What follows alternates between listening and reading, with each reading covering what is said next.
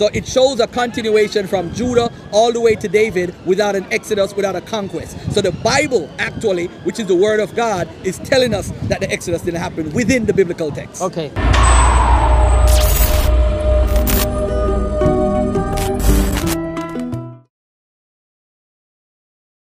Hi. Right, here we are at, uh, at the Open Air Asylum again because it's Sunday, and we have uh, yeah we have a little scheduled like combo that we're going to have some informational on uh, the so-called Black Hebrew Israelites. Only the black seems to be true in that uh, whole statement, although I have seen very light-skinned people also shouting and spewing nonsense. So I don't know where to go first. Uh, that away, can you explain uh, the book you have in your hand and what's your name and where are you from and What a beautiful No introduction. hey, we are at Speaker's Corner. She called it the Open Asylum for good reason, of course. But one of the mad people that's here today is Brother Garfield from New York. and I'm from the conscious community. And I also have a new book out that's number one on Amazon in the genealogical section because genealogy deals with lineage. So the black Hebrew Israelites claim they have a lineage goes back to the ancient Israelites in the biblical text. So I do have a book out that's called Misconceptions and Misinformation by the Black Hebrew Israelites, and I'm here to spread the word. Give that a minute. Let's just. Uh, so that's that. Is there any focus going on? Excellent camera work. Excellent. Right now we're all blurry again. right. So um, yeah, how did you get interested in polemicizing so-called Black Hebrew Israelism, and uh, do you not want a footstool in heaven? I mean, what you, you seem to be the right kind of shade for this vibe. So what's going on? you don't say that there's neither Jew nor Gentile in Christ, do you? You're not one of those nutters. Sorry. I hope not. but um, let me say this: um, I got involved with the Hebrew Israelites through social media over nine years ago, and some of the debates that I had with them, it, it does. I kept feeling like I was debating somebody from like prep school. It was just so. Uh, uh, juvenile conversations, Yeah. right? Juvenile conversations and um, no research. So what I decided to do is take four years to put together the academic work on what's the current consensus on issues as far as the biblical text and regarding archaeology, anthropology, history, um, linguistics, and genetics. Excellent, excellent. And do you have any interest in like polemicizing uh, so-called Hebrew Israelism or The whole thing i- i- is just with. godlessness in general? Admit yeah, it. I think I think so. The whole thing is uh, for myself as an apologist and as an evangelist is I've come across the Hebrew Israelites, and in particular, I think they've ratchet they've ratcheted up. Um, you know the hostility between blacks and whites. Personally, myself, they they're making claims that when you check them out biblically uh, are unsound, and the, the doctrines, most of the doctrines don't trace back uh, to Further the, than you the know further than the 17th or 18th century. So things like um, uh, a non-virgin birth, Esau was the white man. Joseph as the father, don't forget that That's bit. right. Yeah. So so all of these kind Blasphemy of of the spirit. it, it, it's an issue, and we're, we're, we're now a globalized society. If something goes viral, it goes viral over here as well. Hence, me watching the conscious community, looking at arguments there, and kind of becoming involved and having dialogue with uh, Garfield as well on, on the Bible. is. Sorry. So yeah, that, Yeah. that's what I see. Brilliant. And what I would say is that through, like I came here originally, I guess, with Islam in mind. Although Hebrew He- uh, so-called Hebrew Israelism, I can't even say it at the moment, was probably second on my list, and then godlessness in general, because they are, of course, included in that demographic, um, as is Islam. Um, what I would like, what I find interesting is it seems to me, at least, apart from One West and like those kind of 1960s, but it just seems very much like Nation of Islam without the bow ties and the Bible instead. Like it's very much race based rather than grace based, and it's not only that it's it's cherry picking to the point of an Olympic sport. Like it's just they get a welcome pack with copy pasted verses, and they mustn't really ever read further through. They've got their little Dulux colour chart. Um, everyone except Caucasians is okay, and also if you're Caucasian but you can dance. Um, apparently, you potentially a Hebrew Israelite. Also, Bruce Lee because he had the moves. If you can beatbox, I've not. I'm not joking. I've seen them say to Sam Shamoon, if you can beatbox like David Wood. David Wood is probably a Hebrew Israelite because of um, nonsense, as we call it, or twaddle in England. So yeah, Oh, that's craziness. But let me let me add on to what uh, my brother just I can't said. beatbox, by the way. so you're definitely not a Hebrew Israelite. Um, I do have a chapter that addresses the whole Edomite claims I have a chapter called Is Yahweh an Edomite God?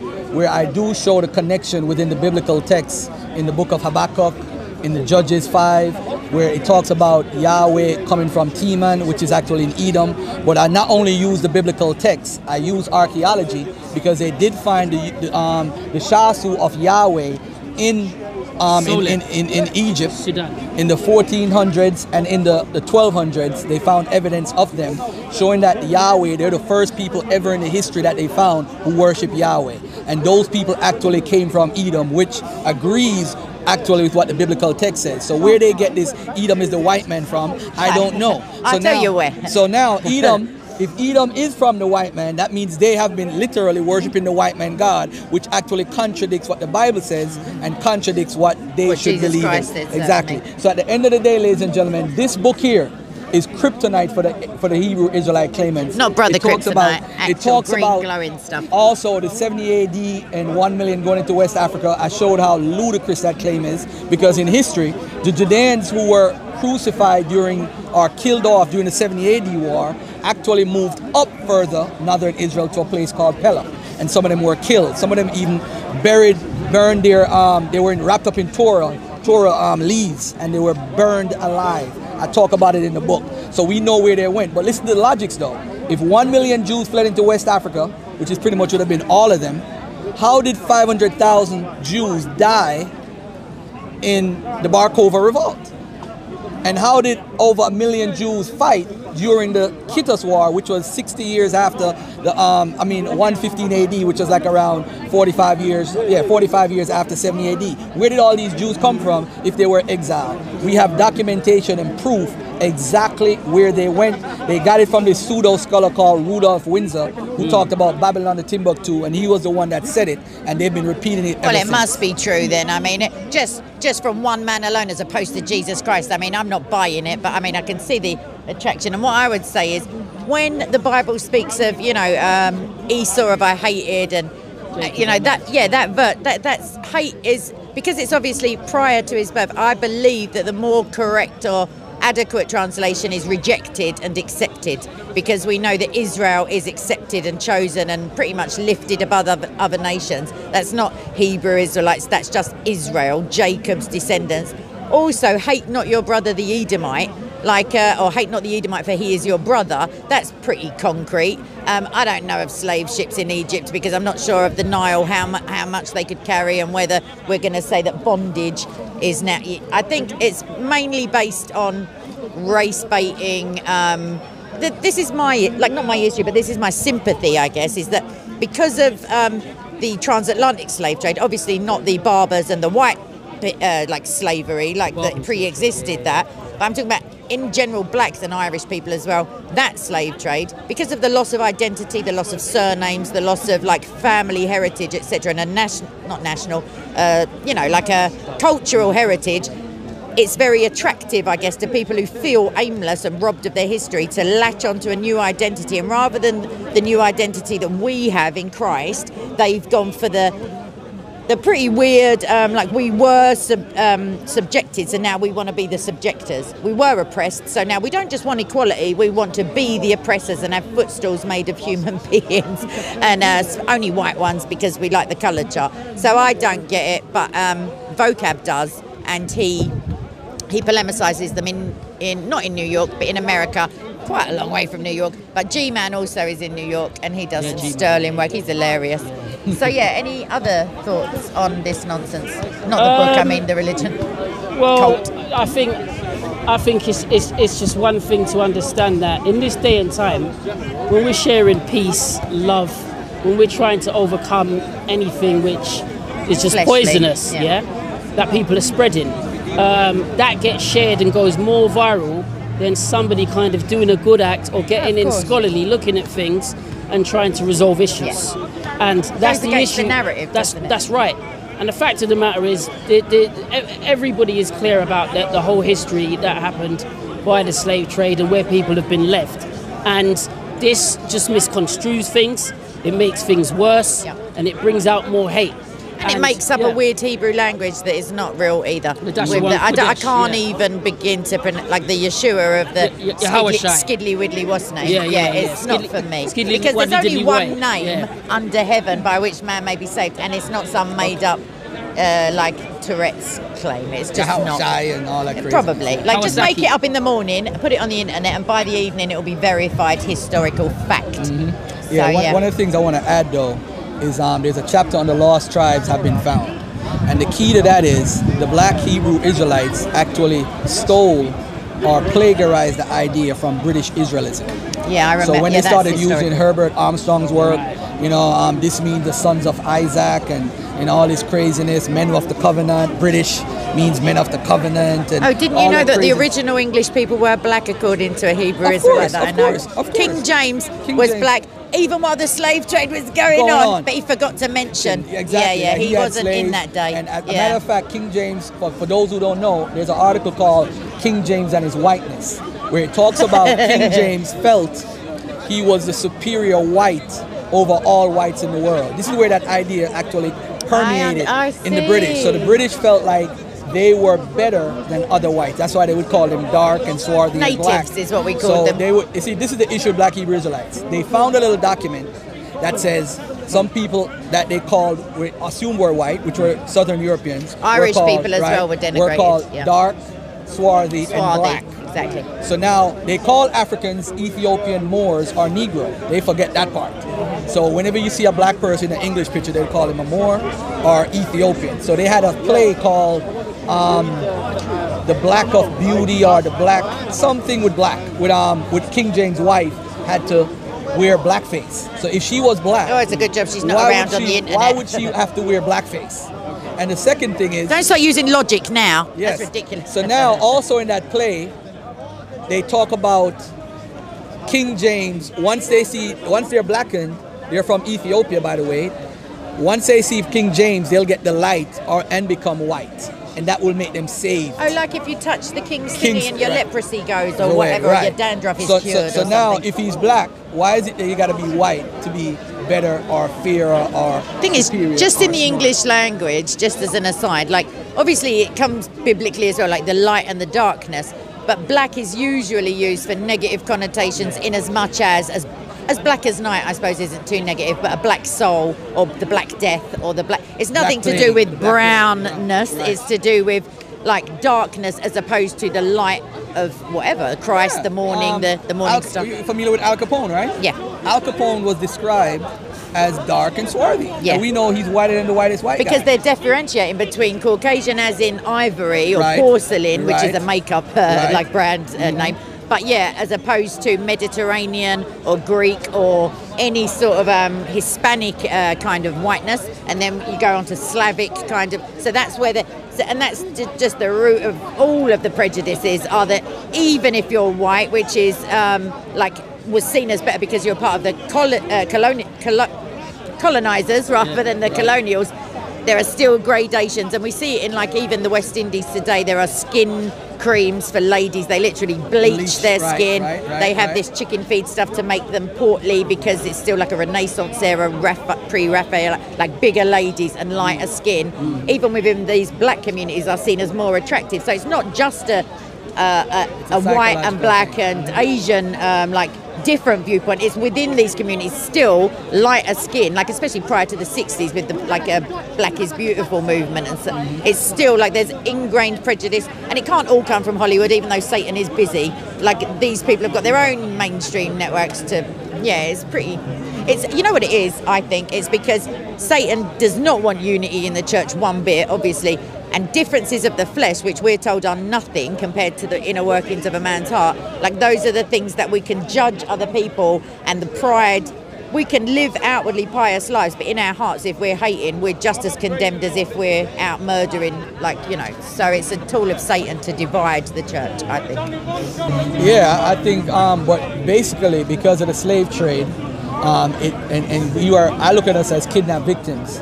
We don't know who we are. We were put on slave ships and we don't, we need an identity. So it's what we call in the United States an identity crisis. Yeah. We either a more we want to be a black Hebrew Israelite, we want to be Muslim, we want to be Nation Arab, we want to be every single thing because we don't know who we are. So in a sense, I could defend them that way because we're searching for an identity. Yeah, but I would say that your true anybody's true identity. C.S. Lewis speaks about. We are not truly our our true selves as, as God or Yahweh wanted us to be until we are in Christ, where there's neither Jew nor Gentile, slave or free, like male or female in terms of hierarchy. So you until you die to yourself and die with Him, you won't rise with Him, and you're not your true self. That's what the Bible teaches. Right. So. I'm going to just bring us to another point as well. So Garfield's book, uh, Misconceptions and Misinformation by the Black Hebrew Israelites, although it takes on the issue of Black Hebrew Israelism, Garfield, from certain uh, scholars that are in the field via academia, is contesting certain biblical accounts. So the account of the Exodus, um, the, book of Daniel, some things that went in there. He did a thing recently with uh, digital Hammurabi, and his position now is more of well atheist or ag- agnosticism. So I don't know, Garfield, if you Better luck have- next time. Well, well, it's Or soon. I, I think I think I think, of man coming Yeah, anytime. I, I mean, it's a conversation, obviously, that is relevant for Garfield and that he's having. He's got his own platform. He hosts Christians. Prayers, there. please, everyone.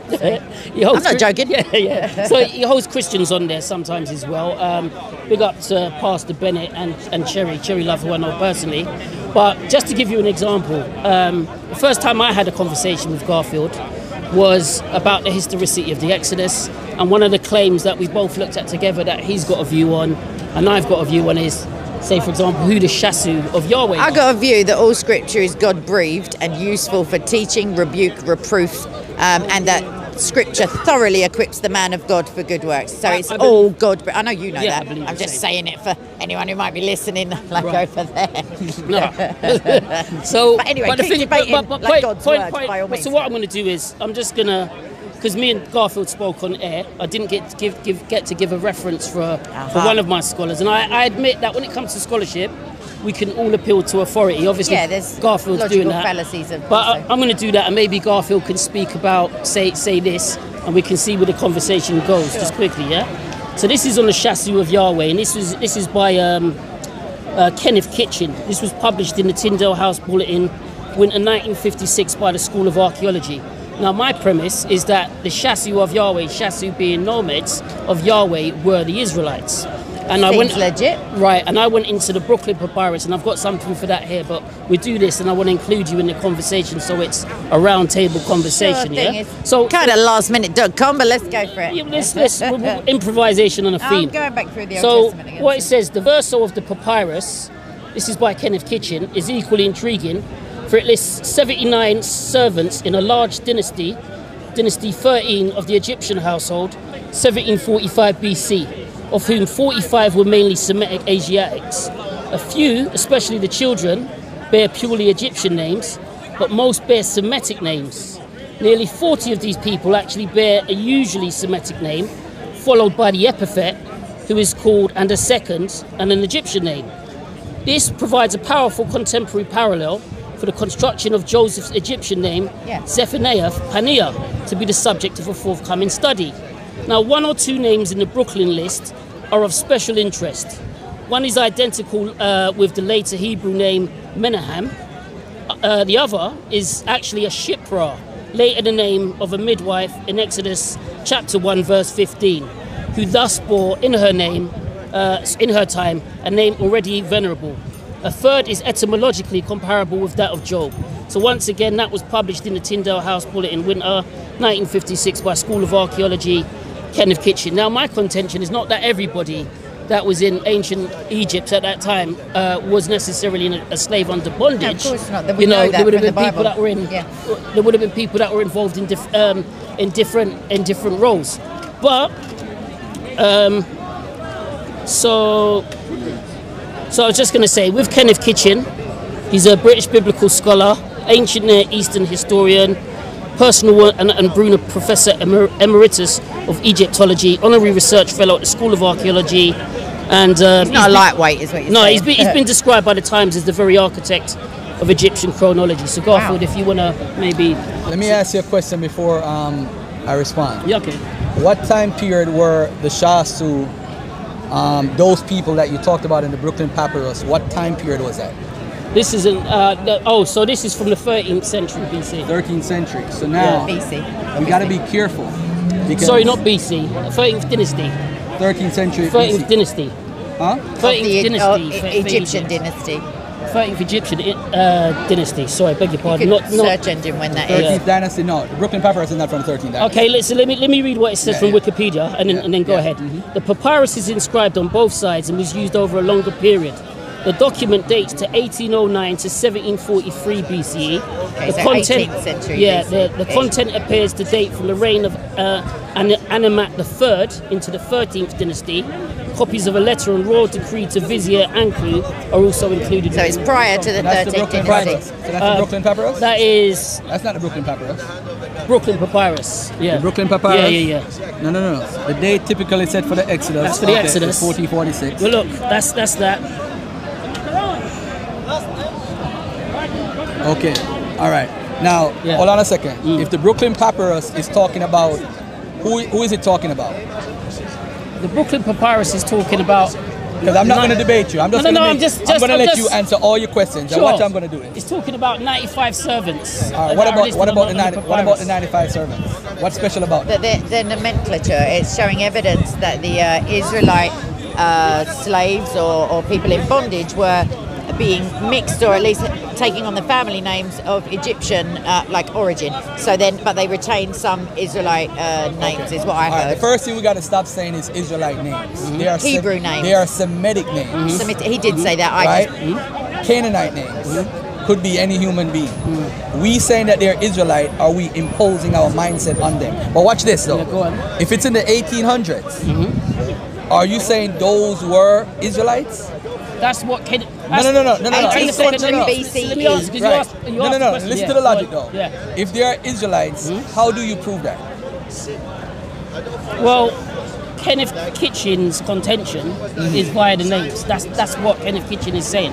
That they're Okay. Israelites. So there is there is Hold no on, way on, to on, prove on, e- on, either on. way. Okay, That's so what now I'm saying. in That- the 1800s, watch this. Yeah. So when if they were supposed to be in is um Egypt for how long? 400, 400 years. All right, so they were 400 years. Are there anyone else with Semitic names that came into Egypt? Of course, there would be. The, Okay. Hick- the Hyksos. so why do so why do you pick those people when since the second dynasty of Egypt, Hmm? people with Semitic names have been coming in there? So what makes those particular 95 people in the Brooklyn Papyrus special? Why? Well, what the contention seems to be, yeah, for, for the consensus against the Exodus, is that virtually no Israelites were there. Which, which the contention that Kitchen is laying out is that essentially these names are Israelite names. That's what I'm saying. Okay. All right. So earlier, Yeah. our good friend here Hmm? says that the Shasu, you, you guys agree that the Shasu were the Israelites. Did you? Did you say no, so? I a didn't Shasu- say that said one, but I don't even is know what. Shasu is. No man. But I'm saying the Shasu But the, Is- Yahweh. but the Israelites Because- were also nomadic, Right. Because of the wilderness, All right, so like the in that Shasu, respect. the Shasu, right? When they were kicked out of Egypt, at what time were they taken out of Egypt? Because you know the Shasu actually worked in Canaan for the Egyptians, and they worked also in Egypt for the Egyptians. Yeah, but what- because hold yeah, on, hold on. yeah. Because at the time, look at your logics right now. Yeah. In the 1800s, right? And we're gonna be sensible now. 400 years would make it 1400 BC, around that time period, right? Yeah. At 1400 BC, who controlled Canaan at that time? No, it would be 13. Sorry, it's All right, 17 13. something. 18th century to 14th is 13, 13. All right. something. Who controlled Canaan at that time? according to the Egyptians, they did. All right. According to history, who did? That's what I said, according to the Egyptians. No, no, no, no. I'm not worried about the Egyptians. Yeah. Let's look at what the Hittites wrote or what the Assyrians wrote. Mm-hmm. And you will see in that tri, the three of them co- corresponding, you'll see that the Exodus, as far as logically speaking, couldn't have happened at that time. Yeah. That's like me leaving out of leaving out of London and going to a whole other city across and saying that, oh, I esca- escaped the UK government when we're still in the UK. It Yeah. doesn't make sense. Listen to it. Let me finish. Let me finish. I made you speak. Yeah, yeah. If it's 1800s, mm-hmm. or as the, as the lady said, the 17, really the 1700s to the 1300s, we got to look logically what's going on in the region. You have the Hittites who control up Carchemish way, right? Egypt controls Canaan. We have the, the Amarna letters showing in the 1300s. Can I just ask, where is your information mainly? actually- it's actually, no, no, I understand you've done it for research for this, but I'm saying, where did you, how do you from? verify? Yeah. Oh, because well, the Egyptian's word is generally taken because it's. it's, No, you know- no, this is what we do. We look at um, William Dever. William Dever is a Bible believer, right? Richard Hess is a Bible believer. 95% of the people that I use in my book are Bible believers. I should say 99 actually. So get back to Jesus and So come now- back to me. All right. That's what's up. I'm a That's Bible believer. That's what's up. So now watch this. So now I use Bible believers to make a point because they don't have Wanna any hold skin. that a second. I'm just Yeah. gonna. They don't have any skin in the game. So Yeah. when you say the, the Shasu possibly are Israelites because mm. they're nomads, Yeah. the Shasu have been coming out of Egypt in the in the 15th century, the 13th century. But not the Shasu of Yahweh. The, the Is my Shasu of Yahweh, yes. So, but The is Shasu but of the Yahweh earliest was there in the 1400s, which the 13, 15th century. 1375 is the earliest inscription, right? No, in No, Soleb bin Sudan. no, is there an earlier no. inscription Yeah, than there's that? an earlier inscription. Hold on, What from show you Thutmose III? Hold on, I'm gonna show you an earlier inscription. That's the only other one I've seen. Hold on. But regardless, of, regardless of when the time, let's look, let's deal Yeah. with the, the 95 names in the Brooklyn Papyrus. Can we agree they were Semitic names? Yeah, they are Semitic names. All right, now watch this, watch this, watch hang on this, a watch second, Let me ask one question back. Watch this, hold on, one hold on, hold on, question? hold on, One question, one question, one hold on, let me finish this Because point. otherwise, let me just ask this question. So mm. what I'm trying to say is simply this: Can a Semitic name also be an Israelite name, or can, can we? Let me just finish. Or can we have a name that is an Israelite name uh. that that is is more? Japanese names, I think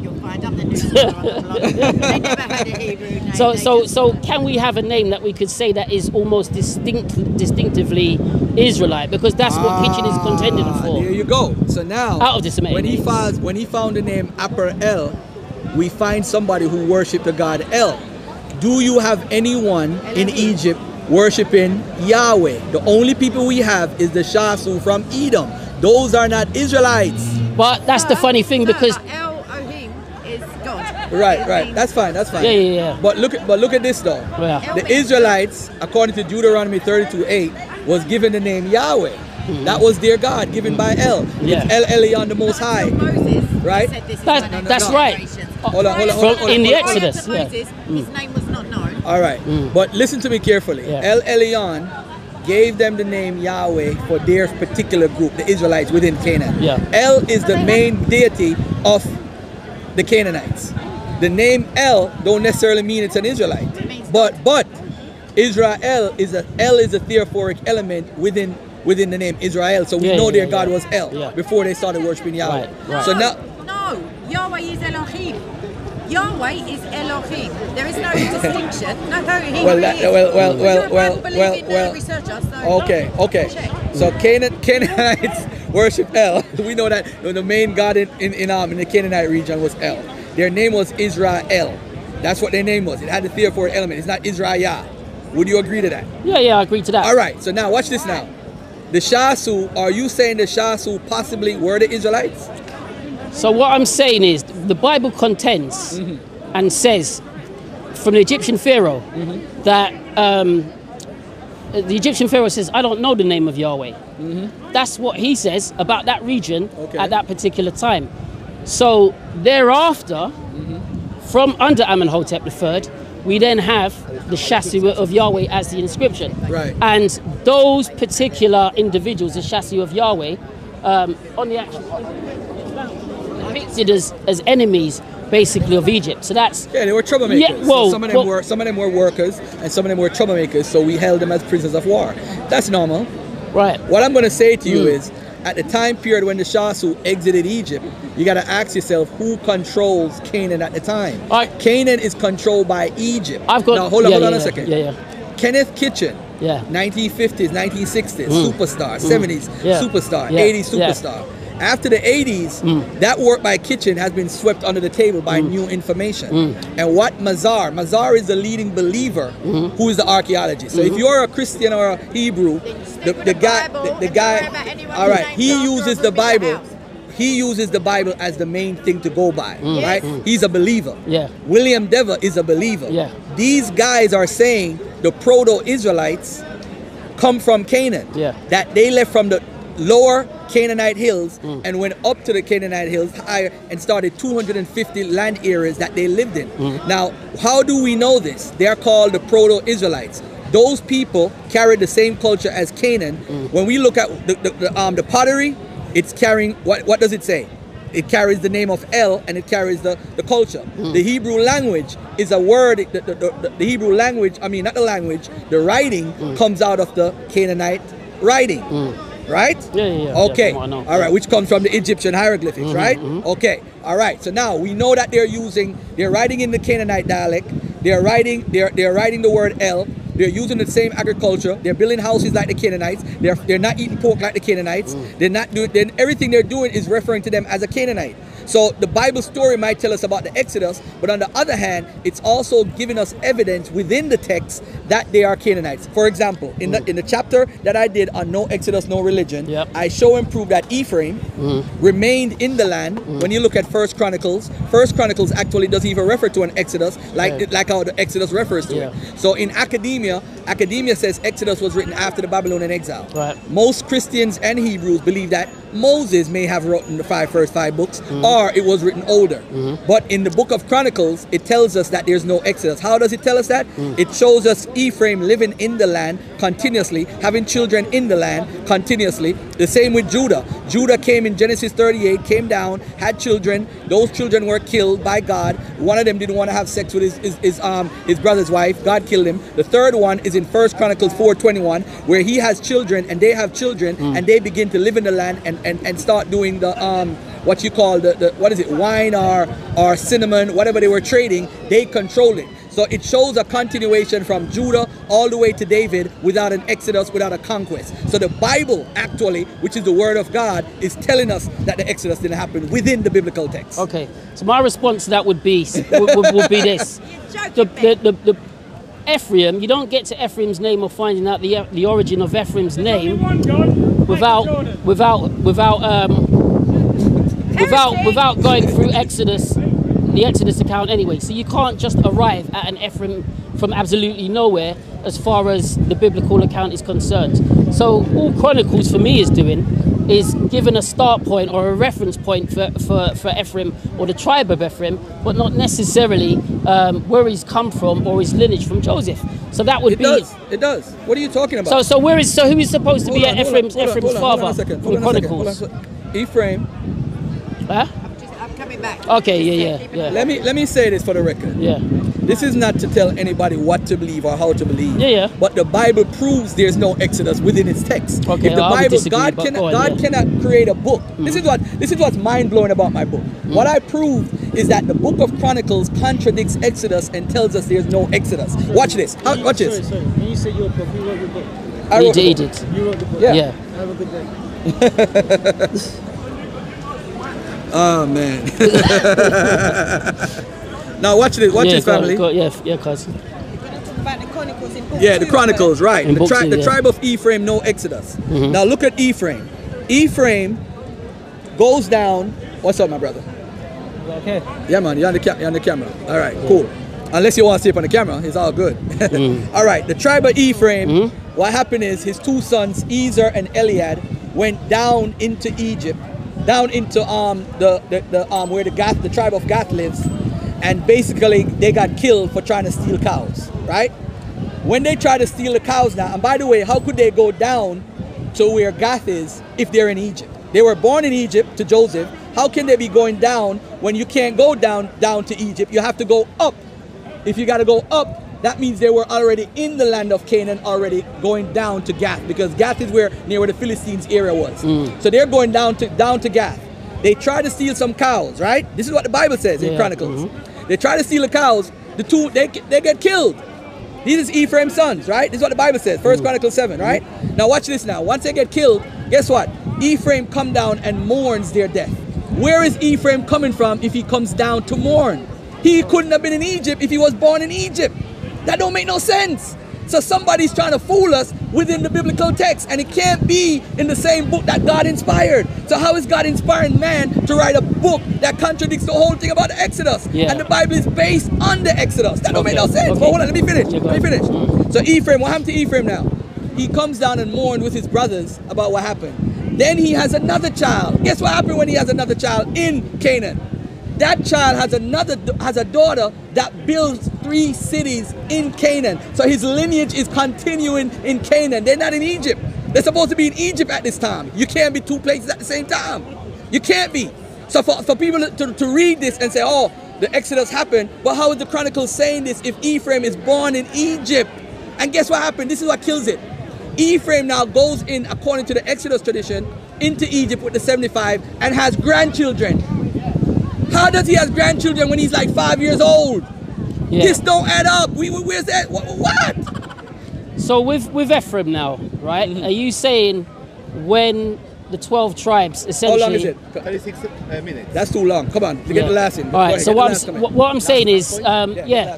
So yeah, just to wrap up now. Anyway, good conversation with my brother Garfield. Mm-hmm. He's over from the US, first time to the UK, and obviously promoting his book. And we're having the dialogue which we need to have about the Hebrew Israelites and about the Bible in general and scholarship, archaeological attestation, everything. Yeah.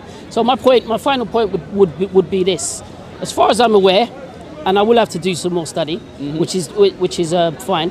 Um, when the twelve tribes leave, yeah, and they leave as a mixed multitude, Ephraim as a tribe goes with the Israelites. Is that not not what the biblical account is saying?